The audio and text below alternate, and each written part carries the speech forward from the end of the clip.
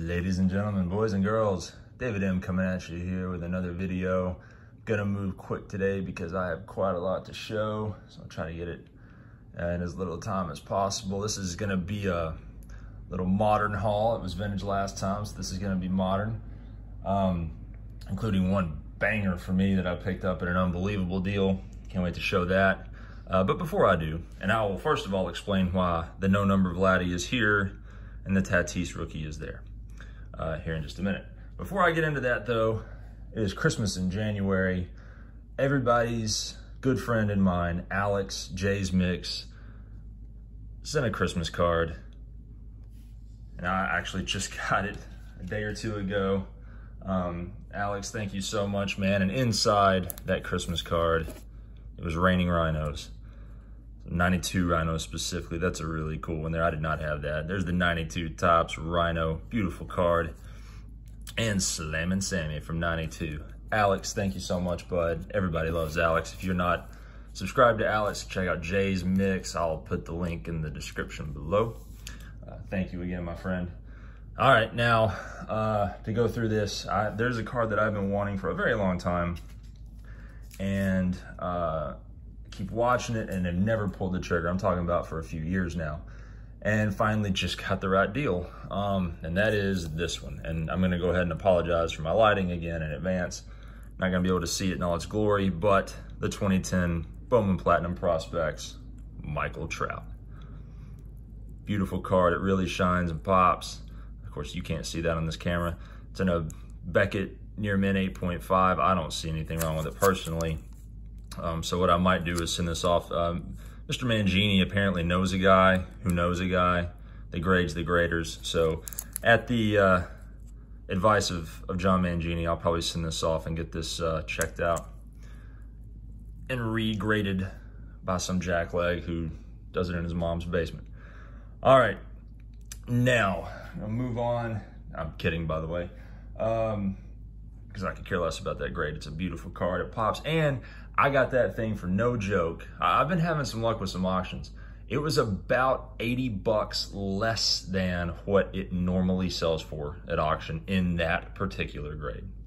So I was thrilled with that. Also thrilled to add this to the Derek Jeter run. I'm always looking at Jeter inserts and old stuff like that. A beautiful 97 Pinnacle Totally Certified Platinum Red, number to 39.99. Uh, this one's a really shiny one too. Of course, not in this lighting, but it's still got the sticker on it. There's the number designation right there, 1722. So, love that addition there. Also added this one, Pinnacle Zenith. I love these 90s Pinnacles, man. These inserts are sweet. Uh, this one also shines too, and they're they're cheap to pick up. So, added this bad boy. Um, not a huge card, but I love it. Uh, it is the 2008 Upper Deck Max Scherzer rookie card. Now this one is the uh, throwback version to the SP. I've got the Clayton Kershaw in this one too. And it really shines and pops and does all that good stuff. Love these SP rookies in Upper Deck from back then. And also added a guy that gets zero hobby love and is one of the absolute overall best players in the game. And all you fantasy guys, you know what I'm talking about here. Trea Turner. The uh, winner of many a league for a lot of people every year. Um, I think I picked up, this is actually one of my favorite sets. 2016 Bowman's Best. 2015 Bowman's Best is also great with the backgrounds and everything. This is the green Trea Turner rookie.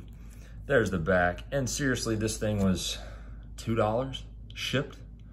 I mean, and I've got a, a couple years ago picked up a Trea Turner auto rookie numbered to, I don't know, 50 for like less than five bucks. I mean, the guy gets zero hobby love, but hey, I'll take it all day long. Now, the next thing I want to show is I don't do a lot of ripping or any of that stuff, but you know, we did come into some update at work and I basically could get them for free because of, you know, money that we were given at work. So why not? So I'll just show you some of the stuff that I pulled in a few hangers. Here's my boy, Jonathan India. Um, the reason I like him so much is he was a lookout, you know, got to see him play a good little bit. So really rooting for him. Uh, this is a sweet one, a Brian Hayes short print. Pulled this one out of one of those. Really like that one. So it's rarer, which means there's probably only a few million of them as opposed to 20 million of them. Nice little Andrew Vaughn, Topps Black Gold shiny card.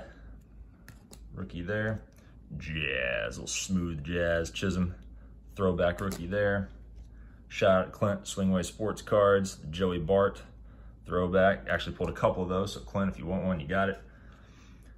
This is a guy I'm still really big on, Alex Kirilloff. His Topps Chrome throwback rookie card. Wish you could see the shine. Yeah, a little bit. Love that one there. Shout out to Greg, Tiger727 actually pulled three of these. Uh, Akil Baddoo rookie cards. Greg, you want one or two, there you go. My boy Fernando, and that throwback. And uh, we've got here a Juan Soto throwback chrome. And finally, I, am only showing this because it's an orange, bubbly, sparkly thing, and it's numbered to 299. But he plays for that team. Shout out to Walter. Placata cards.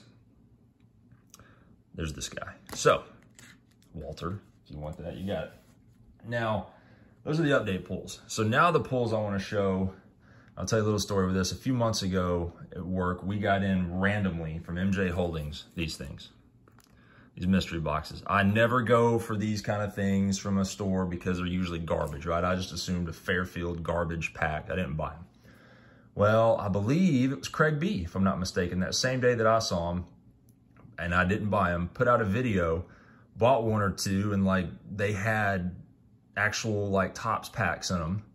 And of course they had 2019 Topps Series 1, that seems to be the theme in all of them, but they also had a 2018 Series 2.